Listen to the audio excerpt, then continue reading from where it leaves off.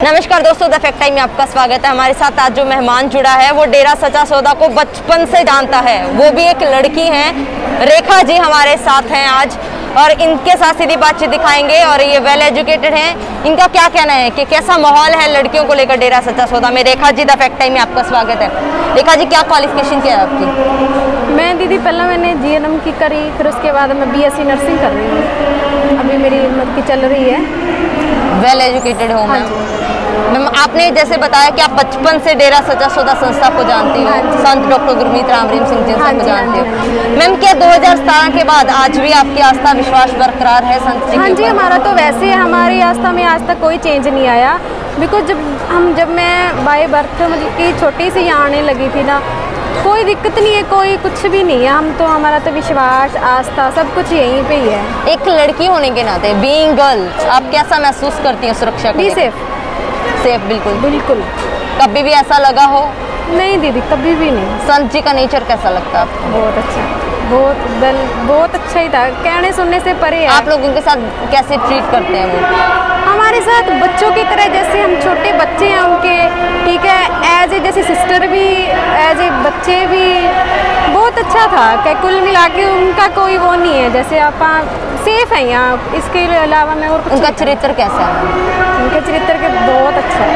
ऐसा आज तक दुनिया में ऐसा कोई पर्सन नहीं है भी उनकी कोई मतलब कि उसके साथ वो कर सके जो एलिगेशन लगाए गए हैं वो बिल्कुल गलत है। बहुत ज़्यादा गलत है वो।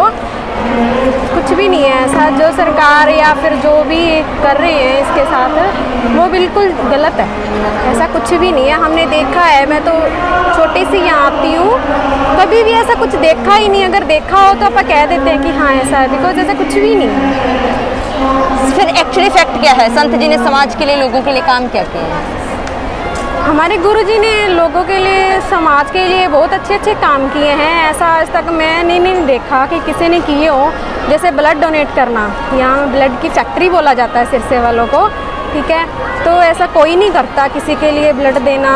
और जैसे सफ़ाई अभियान चलाना, ये तो बहुत बट आज तक किसी ने सोचा तक नहीं था कि किसी देश को साफ़ करना, ठीक है? और जैसे शादी करवाना।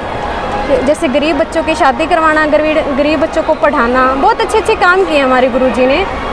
क्या ज़रूरत है संत जी की समाज को बहुत ज़्यादा। चार साल हो गए मैम नहीं है समाज में। क्या प्रभाव पड़ा है? बहुत ज़्यादा प्रभाव पड़ा है इसके साथ साथ जो बच्चे एक अच्छी लाइन पे जा रहे थे ना वो क्या हो रहे हैं थोड़े थोड़े जैसे हो रहे हैं जैसे कहते हैं ना मोटिवेटर थे वो हमारे। ठीक है, हम मतलब कि जैसे आते थे, गुरु जी प्रेरणा देते थे, हम उस प्रेरणा पे चलते थे, ठीक है, और थोड़ी थोड़ी जैसे हो रहा है प्रभाव देखने को हमें मिल रहा है बट जो इनके साथ जुड़े हुए हैं जिनका विश्वास है आस्था है वो आज तक नहीं डोले। क्या अपील करोगे सरकार से? हम सरकार से यही अपील करना चाहते हैं हमारे गुरु जी बिल्कुल निर्दोष हैं ठीक है? उनके जो भी केसेस हैं उनको रिव्यू करके दोबारा देखा जाए और हमारे गुरु जी को जल्दी से जल्दी हमारे बीच भेजा जाए। बहुत बहुत धन्यवाद निर्दोष है सेंट डॉक्टर गुरमीत राम रहीम सिंह जिनसा।